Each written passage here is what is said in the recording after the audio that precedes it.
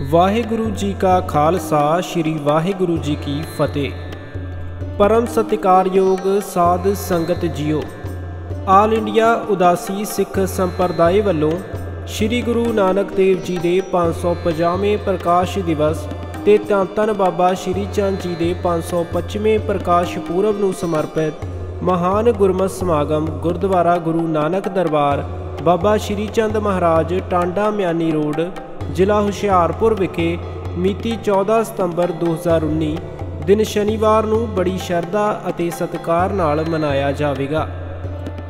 ਦਾਸਰੇ ਬਾਬਾ ਸੁਖਦੇਵ ਸਿੰਘ ਜੀ ਬੇਦੀ 16ਵੀਂ ਪੀੜ੍ਹੀ ਸ੍ਰੀ ਗੁਰੂ ਨਾਨਕ ਦੇਵ ਜੀ ਮਹਾਰਾਜ ਜੀ ਵੱਲੋਂ ਸੰਗਤਾਂ ਨੂੰ ਅਪੀਲ ਹੈ ਕਿ 14 ਸਤੰਬਰ ਨੂੰ ਹੁਮ ਹੁਮਾ ਕੇ ਪਹੁੰਚੋ ਤੇ ਗੁਰਬਾਣੀ ਨਾਲ ਜੁੜ ਕੇ ਜਨਮ ਸਫਲਾ ਕਰੋ।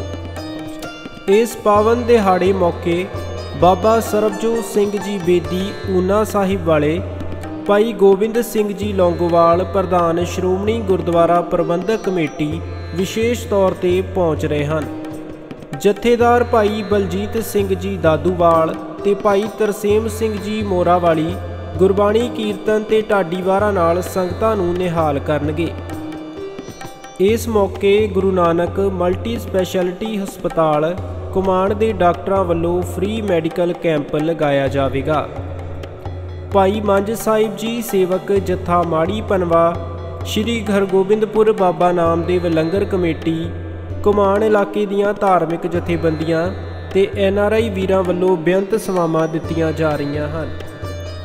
ਸੰਗਤਾਂ ਦੇ ਦਾਸਰੇ ਬਾਬਾ ਸੁਖਦੇਵ ਸਿੰਘ ਜੀ ਬੇਦੀ 16ਵੀਂ ਪੀੜ੍ਹੀ ਸ੍ਰੀ ਗੁਰੂ ਨਾਨਕ ਦੇਵ ਜੀ ਵੱਲੋਂ ਸਮੂਹ ਸੰਗਤਾਂ ਨੂੰ ਅਪੀਲ ਹੈ ਕਿ ਇਸ ਪਾਵਨ ਦਿਹਾੜੇ ਤੇ ਹੁਮ ਹੁਮਾ ਕੇ ਪਹੁੰਚੋ ਅਤੇ ਮੂੰਹ ਮੰਗੀਆਂ ਮੁਰਾਦਾਂ ਨਾਲ ਝੋਲੀ ਭਰ ਕੇ ਲੈ ਜਾਓ।